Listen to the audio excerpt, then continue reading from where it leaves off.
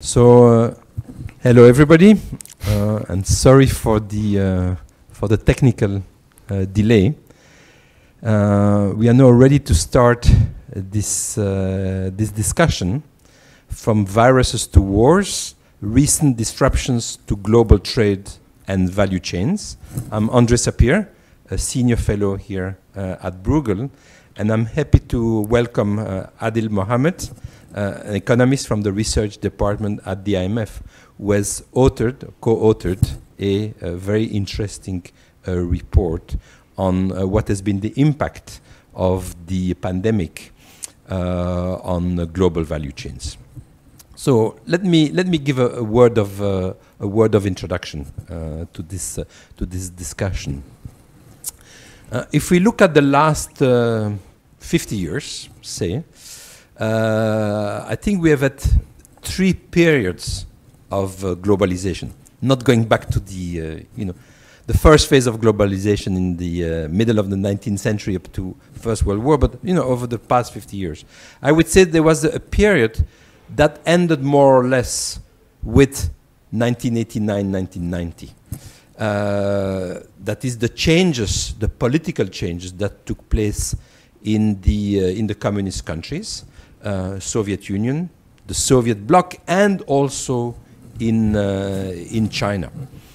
And then in the 1990s uh, and the early 2000s, the former communist countries became members first of the IMF, then the World Bank, and then the GATT WTO, with China joining the WTO in, in 2001 and Russia uh, a couple of years later.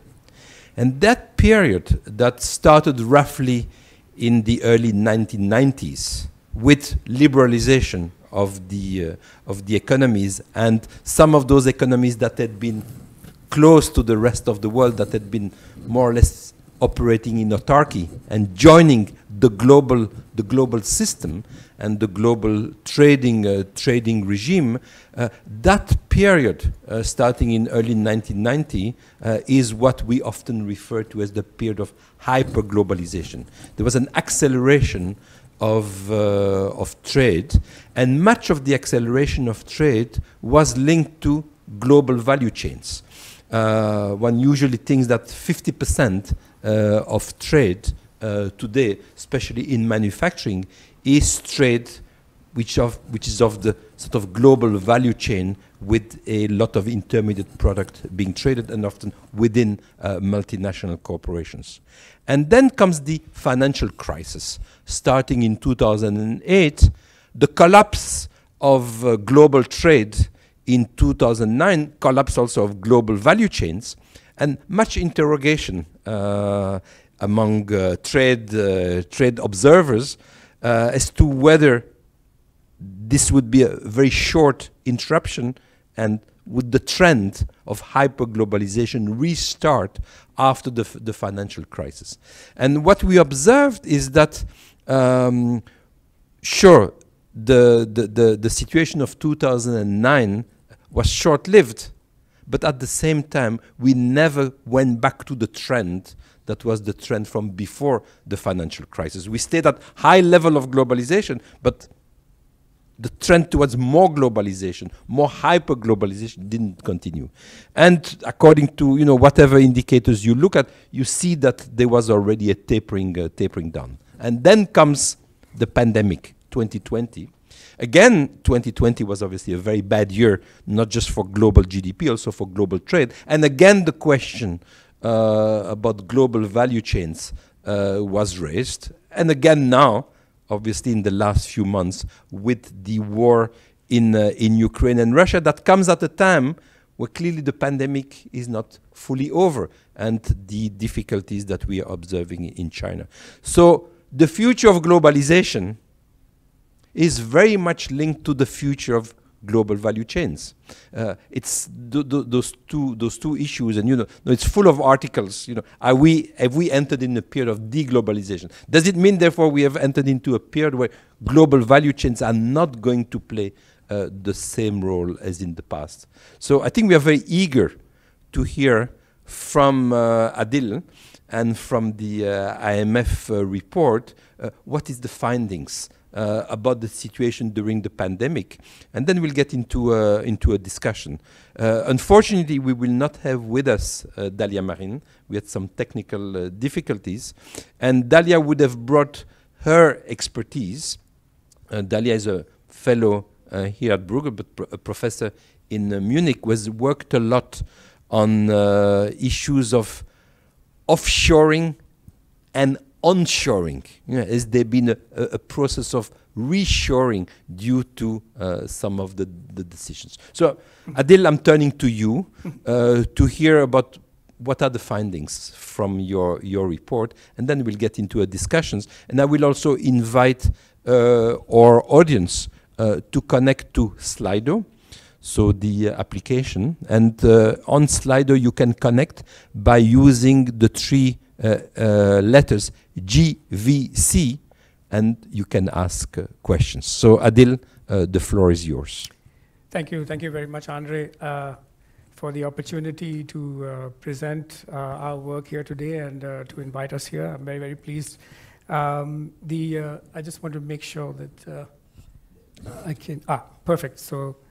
Um, so this, uh, this is chapter four of the spring 2022 uh, titled Global Trade and Value Chains uh, in the Pandemic. Uh, this was uh, produced by a team of economists in the research department, uh, including myself.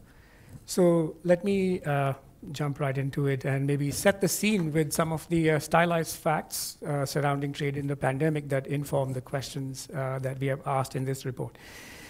Uh, so when the pandemic first broke out, uh, in some observers' view, given the fact that the pandemic was a twin demand and supply shock, it was expected that uh, trade would suffer quite a dramatic collapse, perhaps even worse than what was uh, witnessed in the, um, in the global financial crisis, the so-called Great Trade Collapse. However, what we observe in the data is that although there was a very sharp decline in trade volumes at the, out, at the onset of the pandemic, there was also a very rapid recovery, unlike what has happened in the past. So this is what we show in the chart on the left. If you look at the uh, yellow line, which shows import volumes in quarters following the onset of the crisis of the pandemic, um, very quickly after that, it seems to import volumes recover to pre-pandemic levels. In contrast, when you look at the red line, which is the uh, which is imports uh, uh, during in quarters before and after the global financial crisis, you observe that there was a much more protracted recovery. Uh, now that's one part of the story, and that there is heterogeneity in that recovery story between trade in goods and trade in services. So if we look over to the chart on the right, uh, you will see that this rapid recovery in trade is something that we see very clearly in the trade in goods, which is the blue line. So trade in goods fell uh, at the onset of the pandemic uh, by about 12.5% in volume terms by the middle of 2020, but by October 2020, it had recovered to pre-pandemic levels.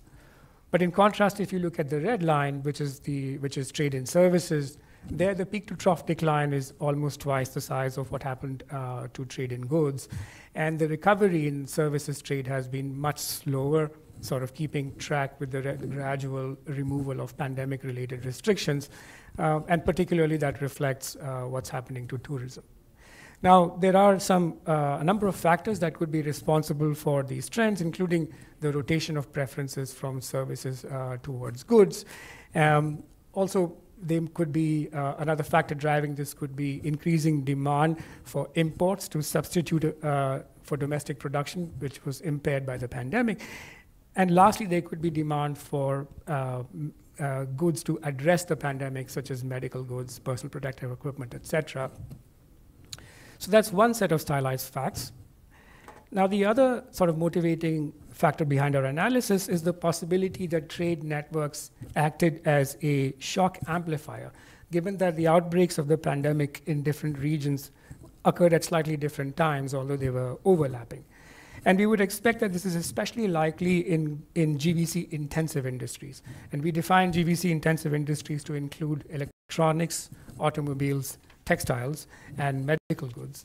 So the chart on the left there uh, shows uh, uh, trade in GVC intensive goods with the blue line. And if you observe there, the decline there is much sharper than trade in non-GVC intensive goods, which is shown by the red line.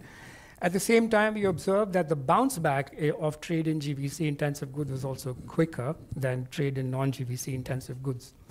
So the sort of the immediate suggestion from this stylized fact is that trade in GVCs was uh, resilient in the crisis.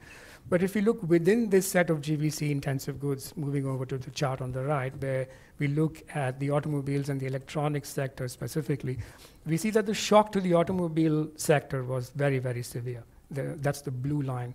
Um, and it didn't really recover to pre pandemic levels in the time span that we studied, which is from January 2020 to about June uh, 2021. Even in contrast, we see that trade in electronics, um, you know, it also fell in the first wave of the pandemic, but then there was robust trade uh, subsequently, even uh, also in the subgroup of semiconductor industries.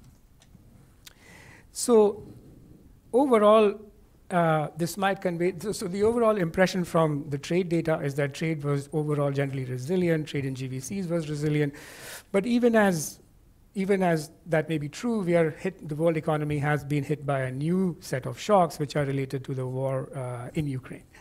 Now, I must point out that uh, in our chapter, we don't uh, uh study the implications of the war in Ukraine. We concluded our analytical work before the outbreak, uh, but we can observe uh, certain implications of the war. one, the, the one clear implication is that Russia and Ukraine are uh, important suppliers of certain niche commodities, uh, which is chart on the left shows that uh, Russia and Ukraine have a very high share in the supply of palladium, in the supply of neon, and I point these two out because these are important inputs uh, in the electronics industry uh, and for chip manufacturing.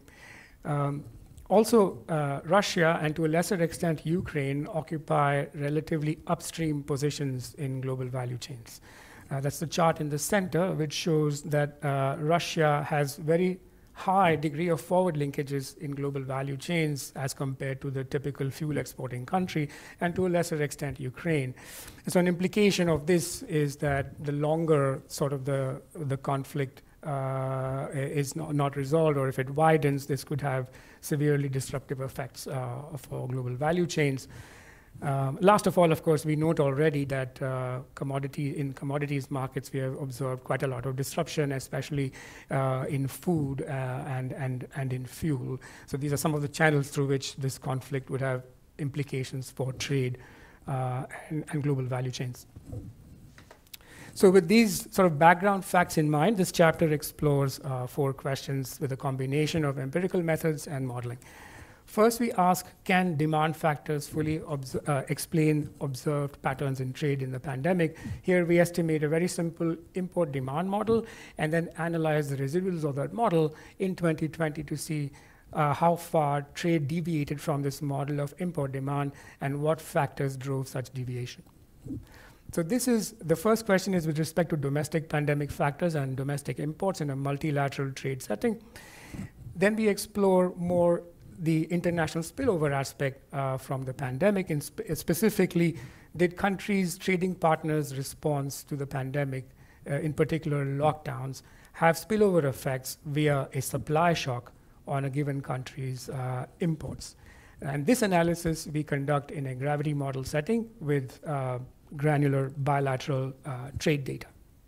Then we move over to an analysis of global value chains, again, using trade flow data. Uh, we ask how resilient was trade in global value chains, and what can we say about uh, changes in the structure of GVCs based on uh, trade flow data uh, in, respect, in, in response to the pandemic shock? And then lastly, we explored policies that would help to strengthen resilience in GVCs. And this is a modeling exercise in a multi-country, uh, uh, multi-sector model, uh, and we examine a set of supply shocks. So let me turn to the first question, which is that uh, what some of the what are the drivers of trade in the pandemic? So we estimate an import demand model, and first we check how well that model performs historically. Uh, then we derive the forecast errors of that model in the in for 2020. And then to the extent that these forecast errors are large, we see what is the correlation of these forecast errors with country-specific characteristics. So if you look at the chart on the left, it suggests that the model does a very good job of predicting trade flows historically. So these, are forecast errors for trade in goods, uh, growth of trade in goods and services and aggregate trade. And what we observe is that these forecast errors are usually quite small in the typical year, even including years of crises like the global financial crisis. But when we zoom in on 2020, there we see something quite unique happens, which is that these forecast errors become quite sizable. Uh, which is to say that while both goods and services imports fell in 2020, goods imports fell less than would be predicted by a model, which yields positive forecast errors, and services imports fell a lot more than would be predicted by the model, so we have negative forecast errors. Then we move on to understand what could be driving these forecast errors uh, in 2020, uh, which is to say, why, what are these demand shifters related to? And here we regress these forecast errors on country level variables and focus on the pandemic specific factors. In the, this is on the, in the chart on the right hand side. Now the chart shows us that the intensity of the pandemic mattered for, for, for goods imports. So we see that where there were more COVID cases, where the stringency of containment policies was more restrictive and where there was uh, stronger restrictions on mobility, these countries ex uh, experienced more import growth than the model uh, would predict otherwise. Um, then with respect to services, what we find is that the model's underprediction was larger in countries which had a relatively higher share of travel in their, in their total services imports, which stands to reason given the restrictions on travel uh, during the pandemic. Lastly, I would draw attention to the, the bar second from the bottom, which shows the relationship between partner countries' health preparedness and import demand countries whose trading partners had a higher degree of health preparedness in the pandemic experienced uh, more imports uh, than the model would predict, which alerts us to the possibility that there were spillover effects from COVID conditions, from the pandemic uh, in partner countries. And I will turn to the question of spillovers now. So diving into more detail on the spillover effects, uh, we ask whether pandemic containment policies could impact trade flows uh, through a contraction of the supply of goods uh, in the country that imposes Im impose lockdown restrictions. So here the unit of analysis is the importer country, and we're interested in the effect of containment policies put in place by trade partners rather than those imposed domestically. So here we are using bilateral trade flow data, as I had mentioned. Um, what we find is that in, the, uh, in, this, uh, in this framework, over the entire sample from January 2020 to June 2021, trading partners' uh, lockdown stringency had a negative and statistically significant effect on, on, bilateral, uh, on bilateral import flows. And then when we dig down more deeper into the time profile of the spillover effect, we show this in the chart on the left, for example, what you see there is that the spillover effects uh, the the the uh, the blue the dark blue solid bar shows uh, negative statistically significant semi-elasticities of the lockdown stringency index in trading partners, and the light blue bars show uh, the same semi-elasticity when it is statistically insignificant. Uh, the red line there is the stringency index within the 10th and the 90th percentile. So what we observe is that the negative spillover effect was very much concentrated in the first half of 2020. There were large negative spillovers. And past June 2020, these effects become statistically insignificant and they, in, they disappear, only to make a sort of a reappearance, though much smaller, around the time of the Delta variant in April uh, 2021. So they were sharp, short-lived spillover effects uh, from pandemic containment policies in trading partners. Uh, in the period, in the first half of 2020, we performed a counterfactual analysis to, to see how much the spillovers mattered for trade. And what we find in the chart on the right shows us that these spillover effects, uh, uh, negative spillovers accounted for 60% of the observed decline in trade in the first half of 2020. So the effect was indeed quite sizable. Um, here I show how these effects are differentiated by some interesting dimensions related to trade and global value chains. Uh, first, the chart on the left shows that the spillover effect of lockdowns was uh, twice as high in countries whose trading partners had low teleworkability as compared to countries whose trading partners had high teleworkability. So this ameliorated or mitigated the supply, the, the supply shock in the partner country. Then in the middle chart, we look at whether this effect, the spillover effect, was mediated by whether a good was uh, produced in a GVC intensive industry or not. And again, we find uh, intuitively that imports of GVC intensive goods were hurt more uh, due to lockdowns than non GVC intensive industries. And then lastly, we uh, look at whether uh, trade was hurt more uh, for goods that are relatively downstream as compared to more upstream. And again, intuitively, we find that trade in downstream goods was impacted more negatively than uh, trade in upstream goods. So downstream goods would then embody longer input supply chains uh, and, than upstream goods. So similar to the logic of uh, the chart in, in, in, the, in the middle. So now uh, let me move on to global value chains. What we are doing here is we are examining what we can learn about the evolution of global value chains using trade data in the absence of high frequency um, inter-country input-output data, which is more standard in the analysis.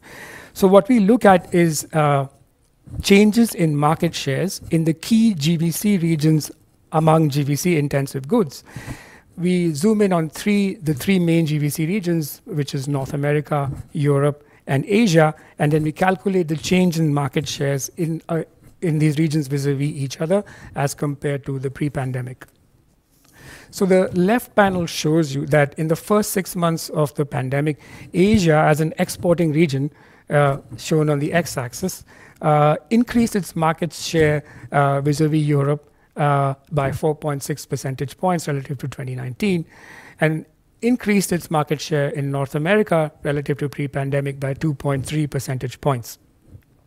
Now, this is consistent with an asynchronous development of the pandemic and Asia relaxing restrictions earlier than Europe and, and North America. But as we move forward in time, we zoom ahead by a year, then we see that these patterns are partially reversed as countries adjusted to the pandemic. So the right-hand side panel shows that Europe partially regained some of the market share that it lost up to the first half of 2020 in the first half of 2021. And the same is true uh, vis-a-vis North America as well. So at first glimpse, the evidence does not suggest that GVCs have undergone significant structural changes so far, at least in response to the to the to the pandemic shock. Um, and in fact, they suggest that they were able to adapt where Asia is able to provide supplies at a time when other regions' supplies are, uh, are, are, are uh, negatively impacted by the pandemic. However, as supply chains remain disrupted and still remain disrupted, which is slowing the recovery and is adding to inflationary pressures, we still need to think about policies that will uh, strengthen global value chains. So in our chapter, what we do is we, we examine two options. First is can countries uh, diversify uh, their supplies of uh, intermediate inputs uh, uh, internationally? And second, can it be easier to substitute intermediate inputs as sourced across different countries? Um, what our, what our, the, our key finding here is that resilience to cross-border shocks can be increased with greater input source diversification and greater input substitutability although the benefits are smaller if supply shocks are more widespread and more correlated. Uh, one of the key stylized findings in the chapter is that there is a sizable home bias in the sourcing of intermediate inputs, which means that uh, any reshoring of production would lower diversification even further, and in itself, this is a simple argument against uh, reshoring. On this slide, uh, I we, I'm presenting to you uh, the benefits of uh, diversification in response to two different types of shocks. The left-hand side chart shows uh, what happens uh, if there is a supply shock in a large uh, EM, emerging market supplier country, which uh, say like China. Um, in the baseline, in the low diversification world, world GDP is reduced by about 0.8 percentage points on average. But in the high diversification world, these GDP losses are reduced by almost a half. And even China, the shocked country in this scenario, benefits as its producers are able to more easily source inputs uh, from the rest of the world. Now let's look at a, a, different type of shock. Rather than a shock to a single country, we look at a shock which is which is multi-country with and, and correlated across countries. Here uh, we draw a, a, we this the shock is calibrated in line with historical total factor productivity shocks, which have some positive correlation across countries. In this case, we find that higher diversification also uh, uh, provides uh, some benefits by reducing the volatility of GDP on average by about by about five percent. Um, let me move over to uh, substitutability. Uh, in this case, uh, what we do is we increase the elasticity of substitution in, in the model from a factor of 0.5, which is uh, uh, consistent with a short-run elasticity of substitution among intermediate inputs, to about to a value of 2. Um, so what we find here is that in the in, in response to a shock in a, uh, to a large EM supplier. Again, this is uh, parallel to the to the China shock. Um, the reductions in GDP uh, in this case, in the high substitutability world, are reduced by about four fifths. However, in this case, China does not benefit as this shock is purely uh, uh, redistributive. So those are really the main conclusions of the of our chapter. And let me uh, just recap very quickly that in terms of patterns of trade, the pandemic had an important role. Um, goods imports grew by more, and services imports grew by much less than would be, predict, would be predicted by a simple model of import demand.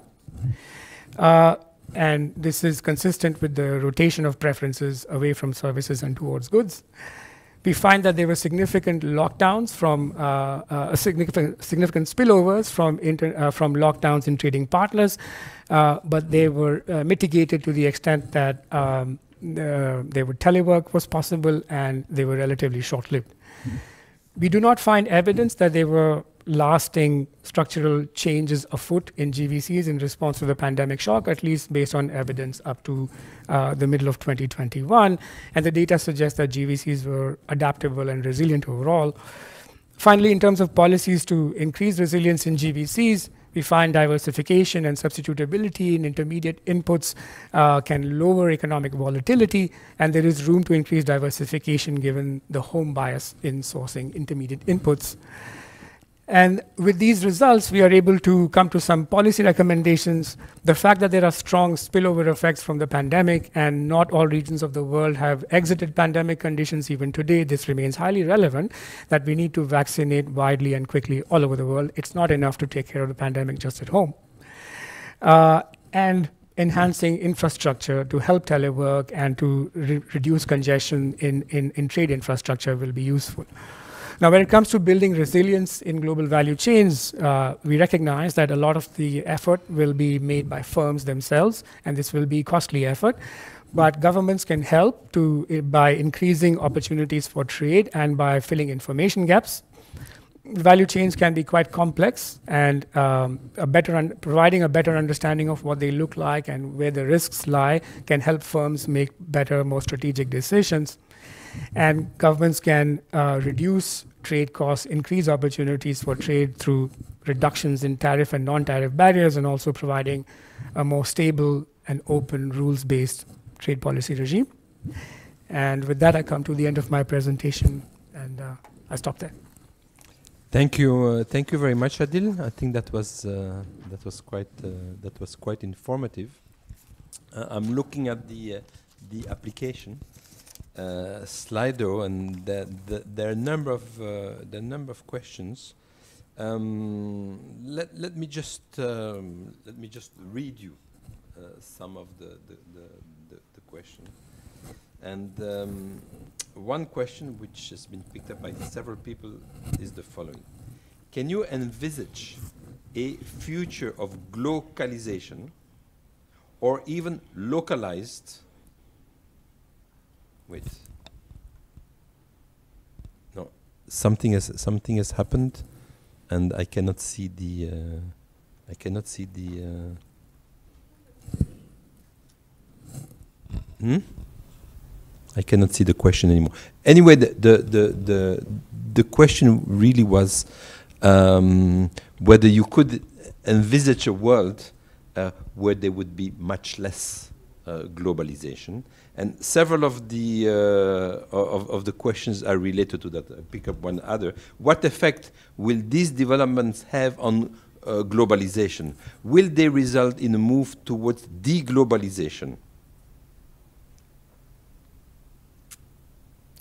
Right. Uh, as countries try to become less reliant on uh, GVCs.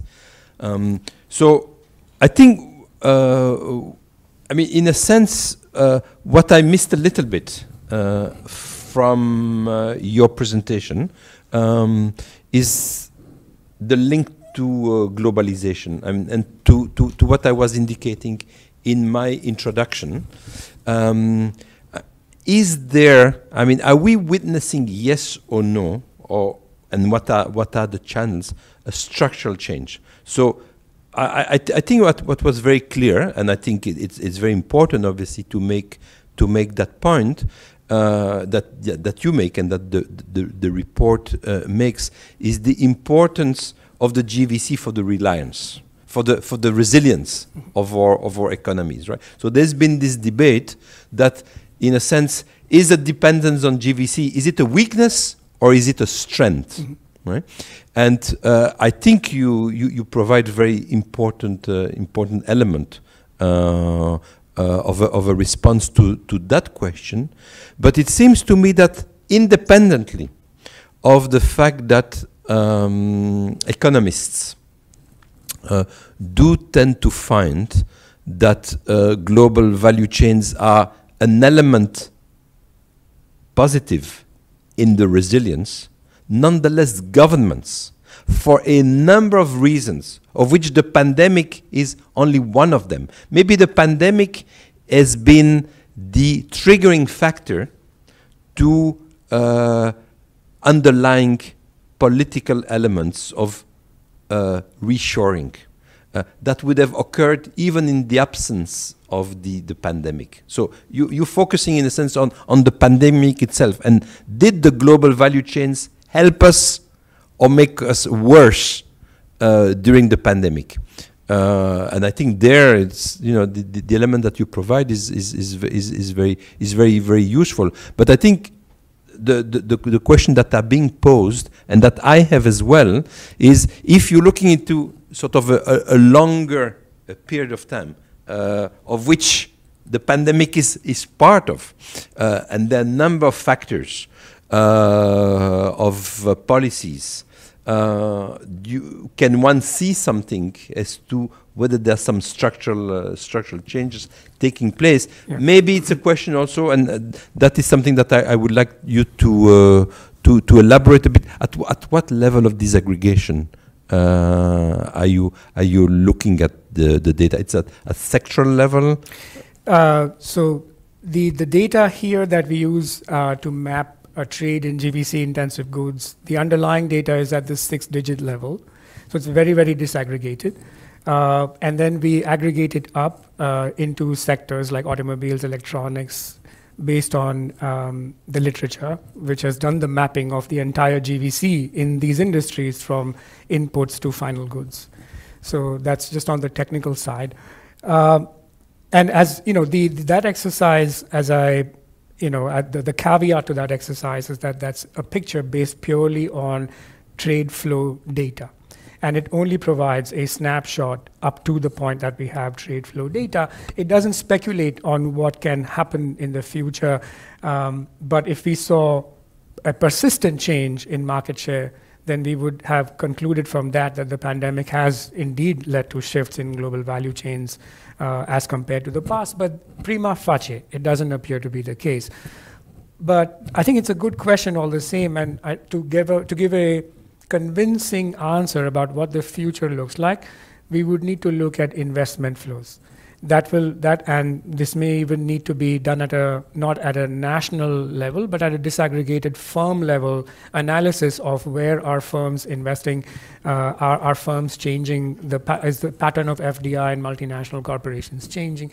I think that will provide a more convincing answer than um, for for the future structure of global value chains uh, than trade data alone. Um, we in the model. Can can can, can, can I just get back to you on on uh, on, on this? I think uh, what you said uh, I find very very convincing. Uh, so you know, as you said, there's the caveat. We are looking at trade, and you know, we have to extract from the trade data what we can extract, and one may be able to extract further information with further data, and that would be data on investment. But okay, let's let's look at, at this as uh, with this, uh, this, this, this caveat in mind, you know, we can only judge based on trade, and we do not see much change in the shares. Mm -hmm. Okay, and so that means no structural change. No, your um, and I, I, I, take that uh, very much as as as as a as useful element. Uh, can uh, what what is your year of reference? Uh, so again, coming back a little bit in the history, uh, what I said at, at, at the, uh, at the start is that there had been this discussion uh, about whether or not there, there, there's, a, there's a break, a structural break. Uh, that discussion started in 2009, right, with the financial, with the great, uh, with the great, uh, with the great recession. Um, now you're looking uh, so, what, what, what, is, what is your reading of the evidence? I mean, th there was a lot of evidence. Lots of researchers worked on on the uh, on the financial crisis and whether the financial crisis was, as far as global value chain is concerned, was it a structural break? Yes or no?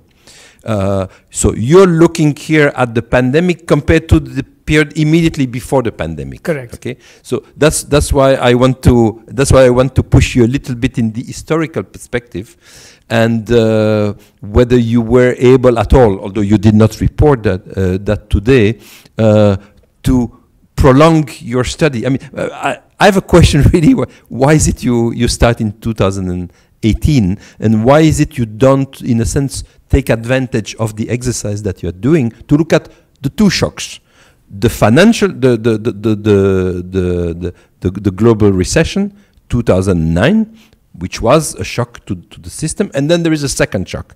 And then to, to, to, to try to get more evidence using the same, uh, the same method. Uh, you see, you see my point? Yeah, and yeah. also, I mean, in a sense, what is your reading of what was the impact of the, uh, of, uh, of the financial crisis on GVCs? So, um, okay, compared to right. 20, what you find essentially is that compared to 2018, 2021 is not very different. That's basically what you say. Okay. And I'm asking something in a little bit of more of a duration. Let's say compared to 2008, and then we have one shock, and then the second shock. What is 2021 in a sense? Do you have, I mean, did you, when you worked with all the data, uh, it would not be very costly, obviously, to, to use the data over a longer period to try to get to get a handle to that. Do, do you have a bit of a, of um, an elements of answer to that? No, the I think the that's a very good point. Uh, you're correct that the window of time that we look at is uh, the pandemic and just before. That is our reference point uh, for looking at changes.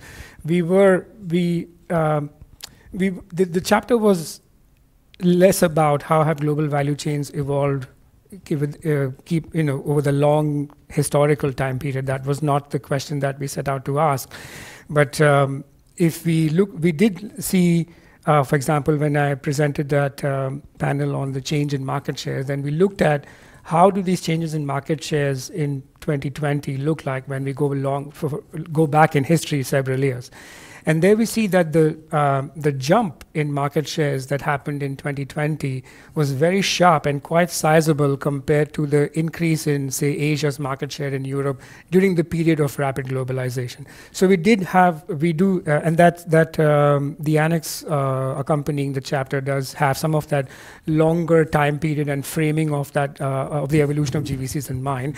Uh, but, uh, but I think the, it's not front and center in the chapter. It's, we do uh, we do note that the pace of change in the two years of the pandemic was quite rapid in comparison to the historical pace.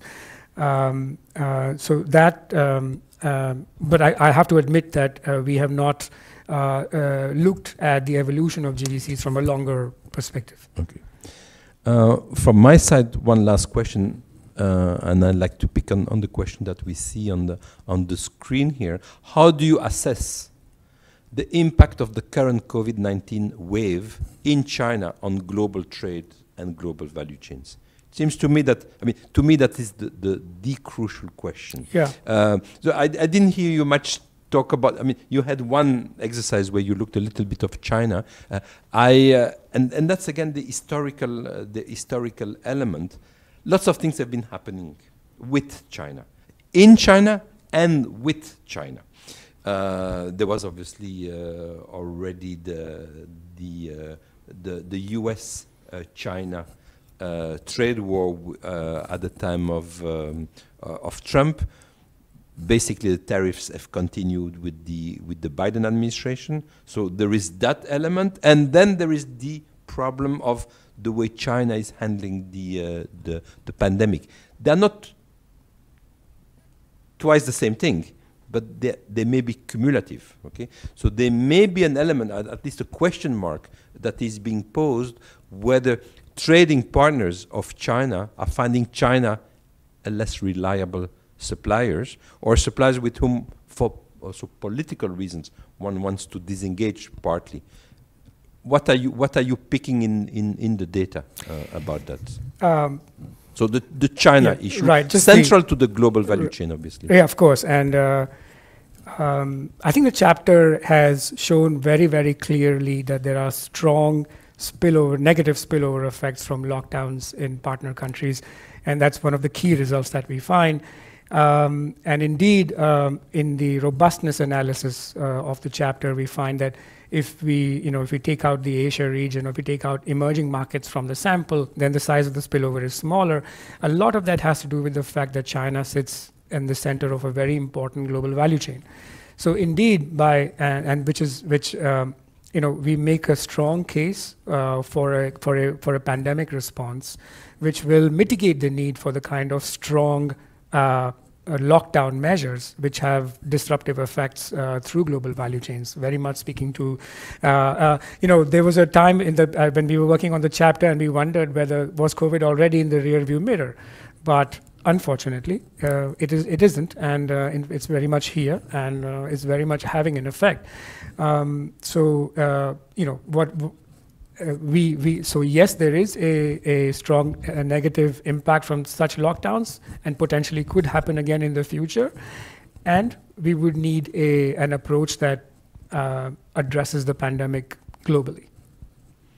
Uh, let me turn to someone in the uh, audience, uh, Marie, and I think probably you want to raise issues related to climate. Yes, please.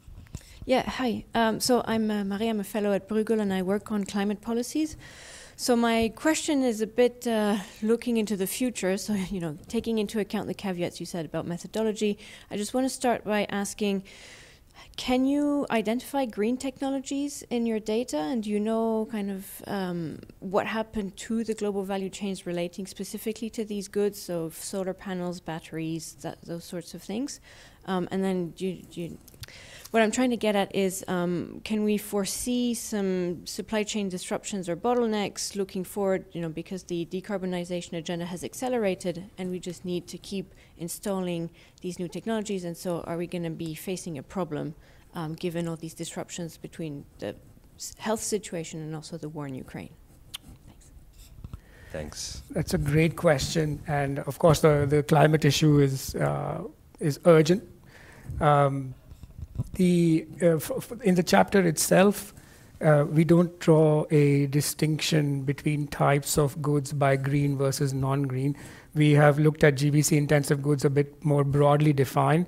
Uh, partly the limitation there is because we the mapping of these uh, value chains uh, at the six digit level has been done for this set of industries that we that we considered if there were if there is a mapping at the six digit level for green goods then we would be able to take that into account also more explicitly. I think it's an excellent question for, uh, it's a good, it's a great area for future research to see how these disruptions affect um, the trade in green goods.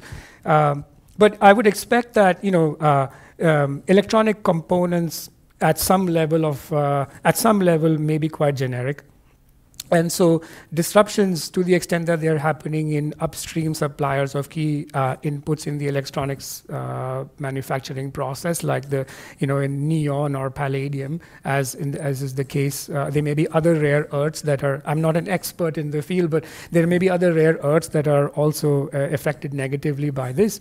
So certainly to the extent that the conflict is pro prolonged, this would have a negative impact on the, on the, uh, for trade in green goods um, as much as it would uh, in other value chains as well.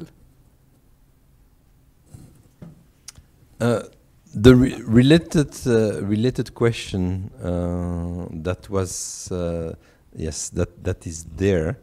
Um, so coming back to to, to the uh, question that was posed before, and again I, I read the, the, the question from somebody in the audience. Can you envisage a future of globalization?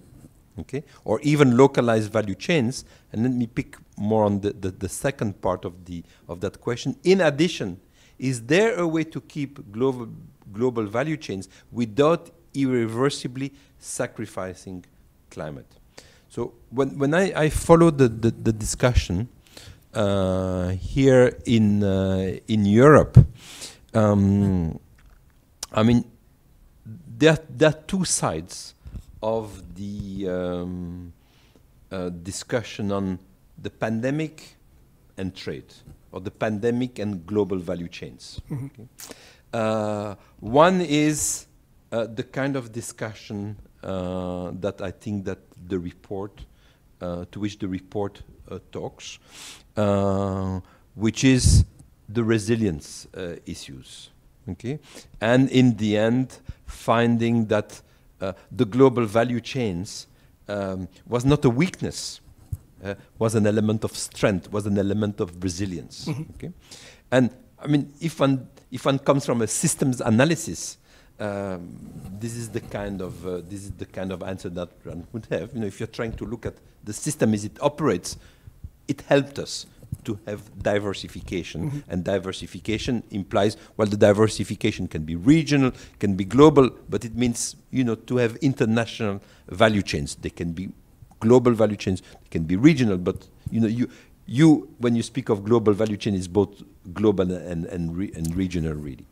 Uh, that's one side of the of the of the of the discussion. I think, and again, the the the, the, the study uh, talks to, to that, uh, I think, in a, in a very convincing manner. Then I think there is a second uh, kind of angle, which is alluded to at least by, uh, by the question here, which is, um, well, trade uh, is very nice and is helping us in resilience, helping us in consumer choice, uh, lower prices, all of the benefits uh, all of the gains from trade that we teach to our to our students, and uh, and rightly so.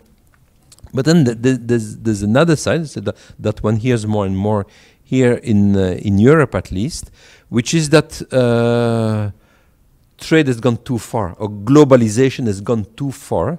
It's very costly for the climate.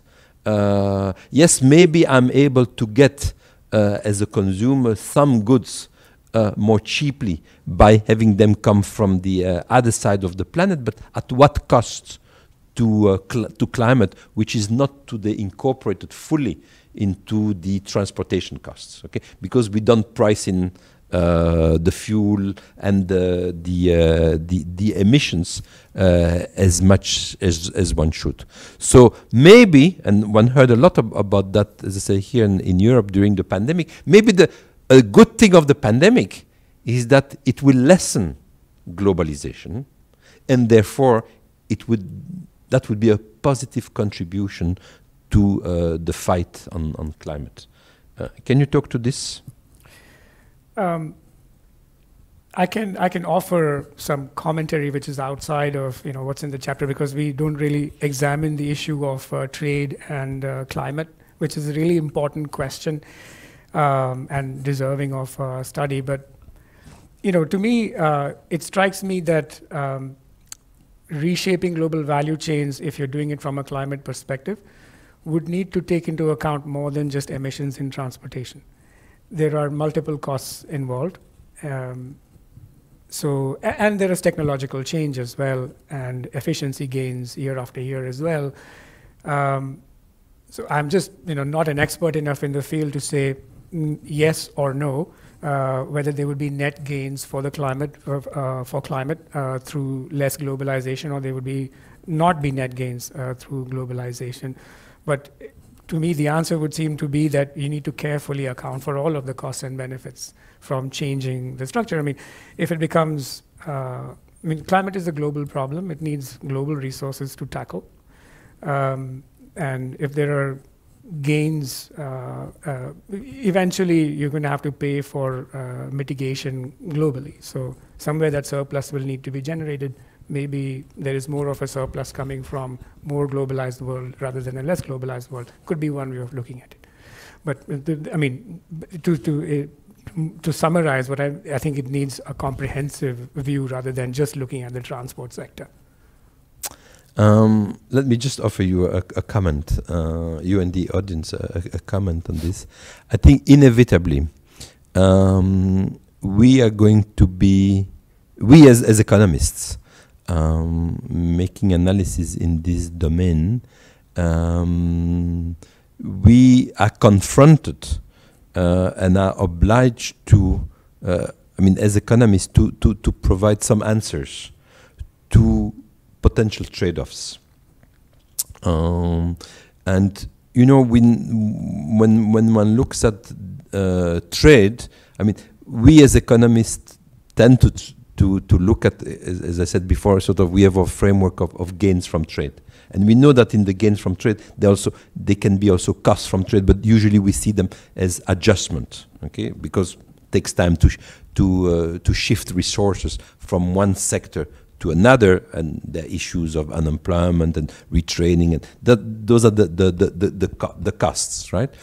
Um, but I think that more and more uh, trade and trade policy and policy makers. Uh, and I know that you are going to uh, you're, you're, going to to to Geneva to talk to the to the WTO and to make a, a, presentation. So as one talks to to policy makers, they are themselves confronted with two completely uh, different narratives.